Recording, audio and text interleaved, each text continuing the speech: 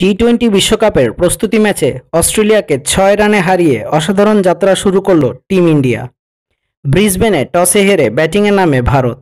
কে এল রাহুল ও সূর্যকুমার যাদবের অসাধারণ half century ও দীনেশ কার্তিকের ফিনিশিং ক্যামিওতে বিশ ওভারে সাত উইকেটে একশো ছিয়াশি রান তোলে ভারত। অজি বোলিংয়ে তিরিশ রান দিয়ে চার উইকেট নেন রিচার্ডসন। ম্যাক্সওয়েল, মিচেল স্টার্ক ও অ্যাস্টন অ্যাগান নেন একটি করে উইকেট। জবাবে ব্যাট করতে নেমে ভালো সূচনা করে অস্ট্রেলিয়ার দুই ব্যাটার মিচেল মার্শ ও অধিনায়ক অ্যারেন ফিঞ্চ। পঁয়ত্রিশ করে মার্শ আউট হলেও দুর্দান্ত হাফ সেঞ্চুরি তুলে নেন ফিঞ্চ। এরপর আর কোনো ব্যাটার ক্রিজে স্থায়ী হতে পারেননি। ম্যাক্সওয়েল করেন তেইশ রান। বোলিংয়ে ভুমরার পরিবর্তে দলে আসা মোহাম্মদ শামি এক ওভারে চার রান দিয়ে তুলে নেন তিনটি উইকেট। ভুবনেশ্বর কুমার নেন দুটি। বাকিরা একটি করে উইকেট তুলে নেন। ফলাফল ভারত ছয় রানে প্রস্তুতি ম্যাচটি জিতে যায়।